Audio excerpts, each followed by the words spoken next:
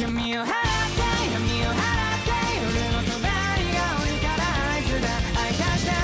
Hola, soy Bash. Y hola amigos, bienvenidos una vez más a nuestro canal. Y bueno, el día de hoy, como ya es costumbre en el canal cuando no tenemos manga, así es, les traigo nuevo preguntas y respuestas de Jujutsu Kaisen. Ya que sí, sin duda alguna, estos capítulos han sido una completa locura, por lo que una gran cantidad de preguntas han surgido, y en este video estaremos respondiendo algunas de ellas. Así que sin nada más por añadir, comencemos de una vez. Y bueno, la primera pregunta es dejada por Cristóbal Taiba, el cual nos dice, hola dioses, esperando que estén bien, tengo cuatro preguntas. Muy bien, número uno nos dice, ¿creen que en algún punto Kenyaku y Sukuna se saboteen entre sí? No me gustaría que pase, pero he visto a algunos pensar así. Además de que se llevan sospechosamente bien. La verdad es que a mí también me llama mucho la atención que no haya conflicto entre estos dos. Obviamente creo que ambos están esperando el momento adecuado para atacar, ya que respetan muchísimo el potencial del otro. Aunque también se me haría difícil ver que peleen entre ellos para que a final de cuentas todos los protagonistas peleen contra solo un villano. Creo que la división de dos villanos extremadamente poderosos e imponentes es bastante buena, sobre todo porque sí tenemos a Gojo,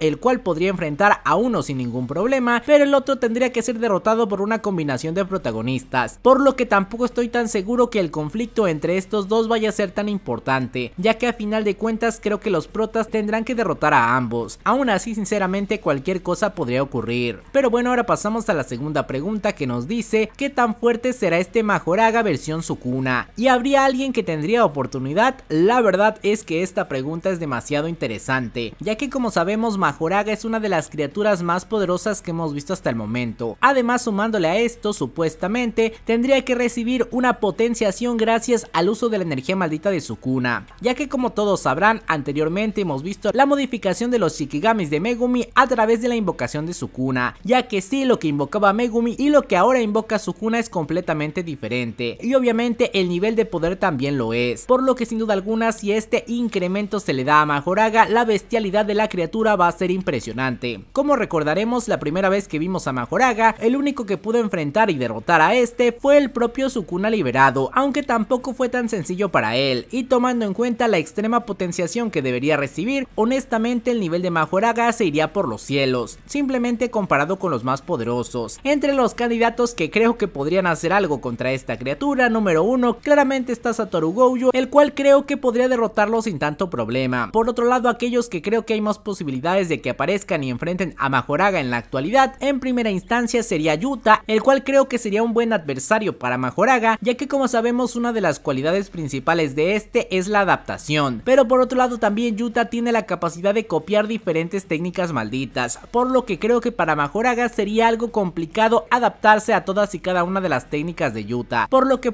podríamos ver un duelo bastante interesante. Además de que también pienso que Hakari y Kashimo tendrían alguna oportunidad contra esta criatura, tal vez no individualmente, pero en equipo yo creo que sí. Aún así, sin duda alguna me muero de ganas de ver el máximo potencial de Majoraga y quién será capaz de enfrentarlo. Obviamente Yorosu será la primera, pero la verdad es que mis apuestas están con Majoraga y Sukuna. Por otro lado, la tercera pregunta de Cristóbal Taiba nos dice cómo funcionaría la expansión de dominio de Sukuna Megumi. ¿Tendría las dos por separado? ¿Se ¿Qué opinan? Y bueno, la verdad es que esta pregunta es muy interesante. Hasta donde sabíamos técnicamente el dominio era exclusivo de cada hechicero, como por ejemplo tomando el caso de Kenyaku, muchos mencionaban que este solo puede usar su propio dominio y no el de su recipiente, pero como hemos visto este es capaz de utilizar diferentes técnicas malditas, y el dominio que se nos mostró parecía tener también una combinación de la técnica de gravedad de la madre de Itadori, por lo que las cosas no están tan claras todavía. A mi parecer una de las situaciones más lógicas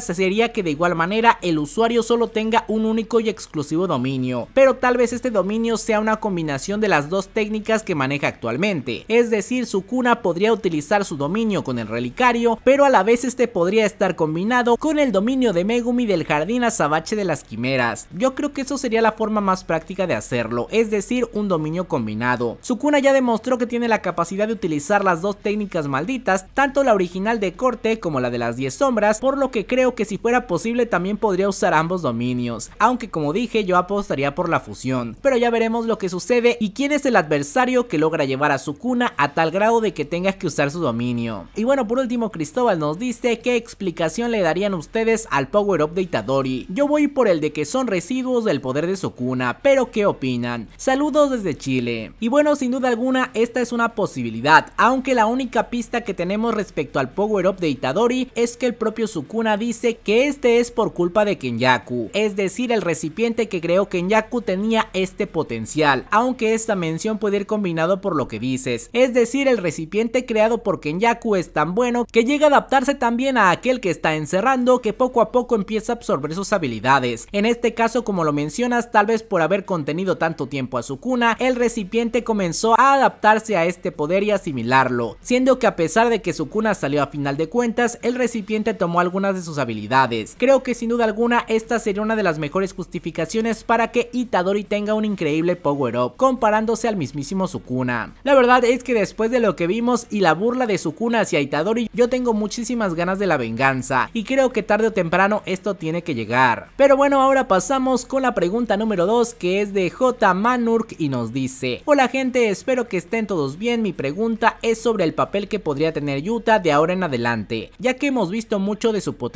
y si mal no recuerdo Yuta no está muy lejos de donde se ha llevado a cabo el baño de Sukuna. Recordemos que Kenyaku también está ahí. ¿Qué papel podría tomar Yuta entonces? La verdad es que creo que está claro que Yuta será uno de los que tenga que intervenir, y a mi parecer su movimiento directo sería salvar a Sumiki en caso de que ésta se encuentre al borde de la muerte, por lo que tendría que entrar a pelear contra Sukuna. Aunque tomando en cuenta que Kenyaku y Uraume se encuentran en los alrededores, es probable que ellos bloqueen a Yuta antes de que este logre llegar con Sukuna, ya que algo que se me hace muy interesante es que muy probablemente Sukuna va a utilizar esta oportunidad en su pelea con Yorosu para intentar exorcizar y purificar a Majoraga, por lo que muy probablemente tanto Uraume como Kenyaku no permitan el acceso de nadie más, ya que sabemos que esto básicamente arruinaría el exorcismo, por lo que muy probablemente Yuta en primera instancia tenga que enfrentarse a Kenyaku y a Uraume al mismo tiempo. Tal vez la razón por la que Miwa también estaba cerca del campo de batalla sea porque ella va a darle un poco de soporte a Yuta en esta batalla. Honestamente, si no llega nadie más a ayudar a Yuta, creo que su batalla en principio va a ser contra Kenyaku. Y bueno, pasando con la segunda pregunta de Manurk, nos dice cuándo creen que Gojo vuelva a entrar en escena, ya que definitivamente lo necesitarán para los combates que están por venir. Y bueno, la verdad es que yo creo que la liberación de Gojo será cuando todo parezca mucho más perdido, es decir, cuando Kenyaku comience la asimilación y prácticamente toda la humanidad comience a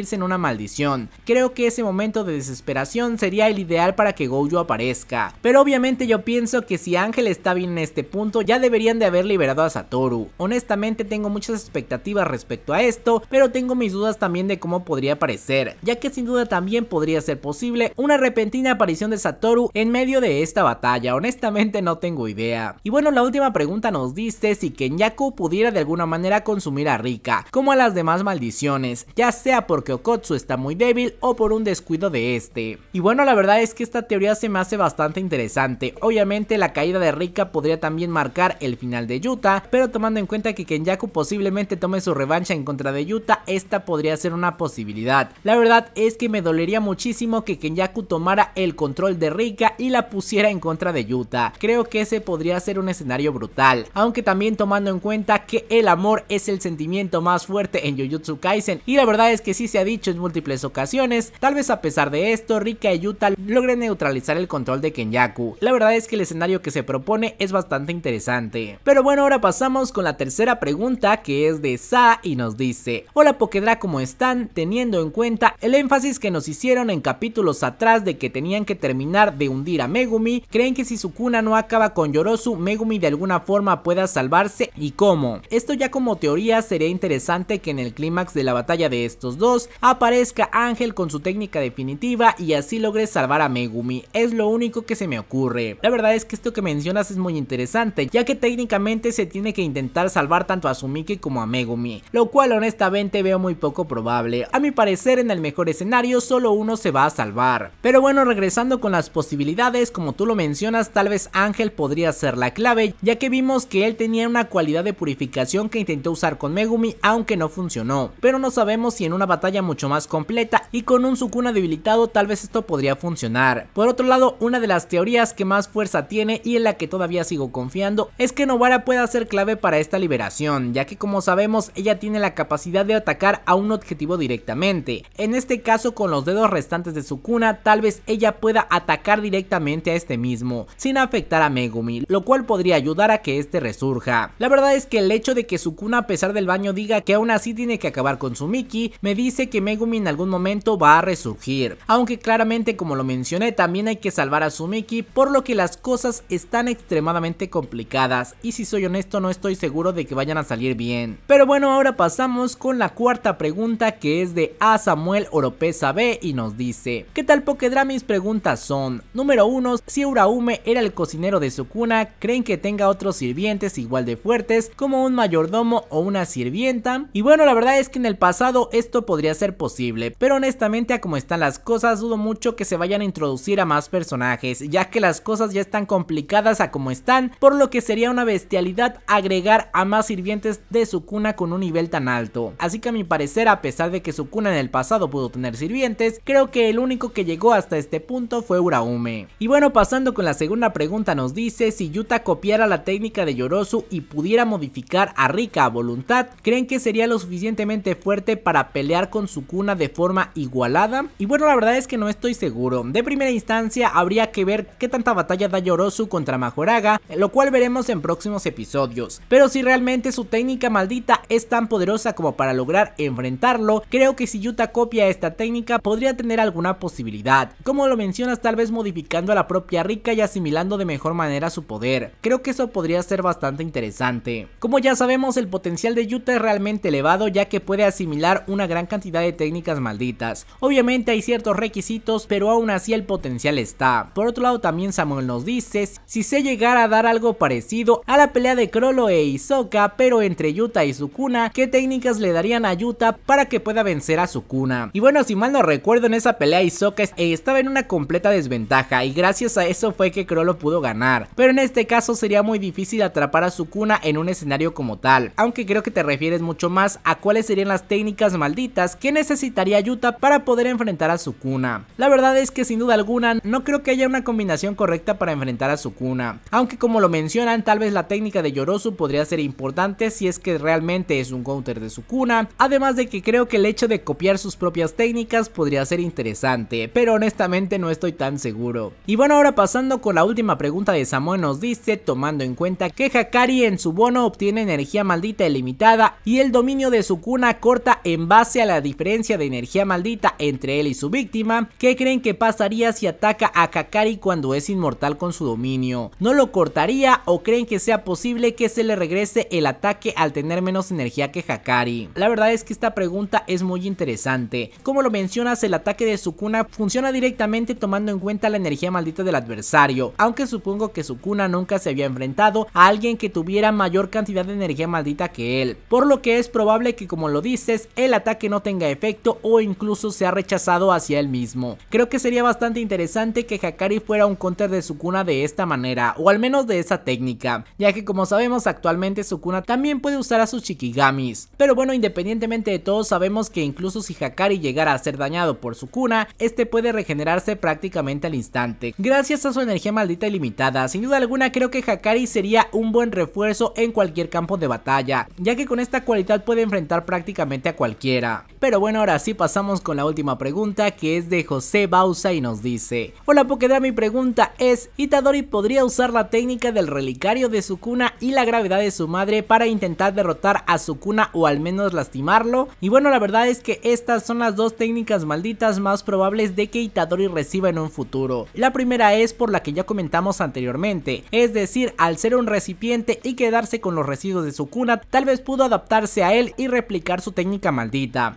De hecho, Gojo ya había mencionado que esto podría llegar a pasar en Itadori, por lo que sin duda alguna hay bastante fuerza en esta probabilidad. Por otro lado, la siguiente opción es el hecho de tener una técnica de gravedad similar a la de su madre, ya que esto básicamente sería por descendencia. Honestamente me encantaría que a final de cuentas le den ambas técnicas malditas y al igual que Sukuna que actualmente tiene dos técnicas, Itadori también desarrolle ambas. Sería un power up realmente brutal. Además de que como sabemos se requiere cierta capacidad para controlar múltiples técnicas malditas, pero creo que Itadori al ser el recipiente perfecto tal vez no conozca un límite en cuanto a este tipo de condiciones. La verdad es que me parece una teoría interesante. Pero bueno, de esta manera terminamos el video. Me encantaría que me dejen sus opiniones y teorías y antes de despedirme, quiero agradecer a todos los miembros del canal que siempre nos están apoyando. Y muchas gracias a Irving Sánchez, Roberto Carlos, Junito Furcal, Edgar Iván, Leandro Valencia, Alex Pilo, Emanuel Castro, John Charlie, Cisneros Beat, Alcojo Gamers, Ernesto Albornoz,